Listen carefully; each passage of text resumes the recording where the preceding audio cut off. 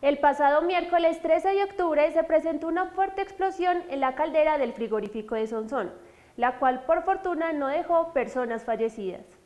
Según algunos vecinos de la planta de beneficio animal del municipio, al escuchar y sentir la explosión, pensaron que era una bomba, debido a la magnitud del hecho. En el área de caldera, el área de que se encarga de todo lo relacionado con la generación del aire para el beneficio interno de bovinos y porcinos, eh, presentó una explosión de grandes magnitudes, la cual afectó eh, equipos, eh, infraestructura física.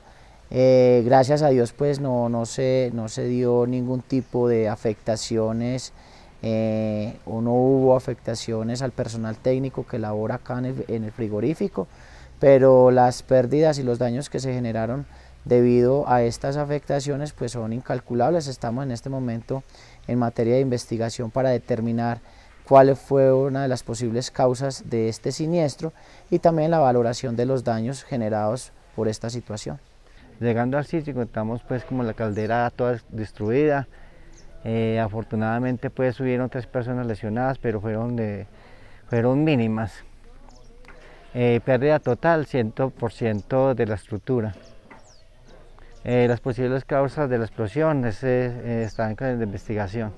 Tanto autoridades como empleados hacen referencia a que, ante la magnitud de la explosión, el hecho de no haber lesionados de consideración o incluso muertos es una fortuna. Pues nos encontramos todos los operarios en el momento en la línea de porcinos, realizando pues nuestras labores de beneficio, cuando una fuerte explosión eh, nos hizo parar pues las actividades, eh, quedamos atónicos, sonó como una bomba y cuando salimos a mirar qué había pasado, que nos dimos cuenta que la caldera, la que nos suministra el vapor para varios equipos, había explotado.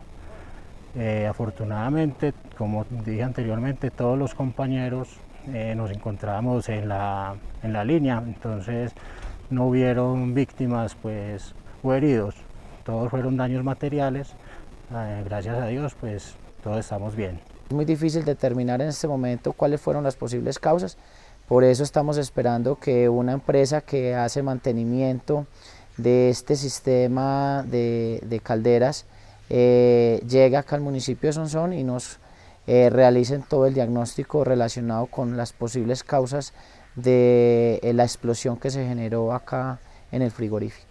Por ahora, y según el secretario de Asistencia Rural, el beneficio animal está suspendido mientras se evalúan posibilidades de reabrir el frigorífico para no dejar sin carne la región.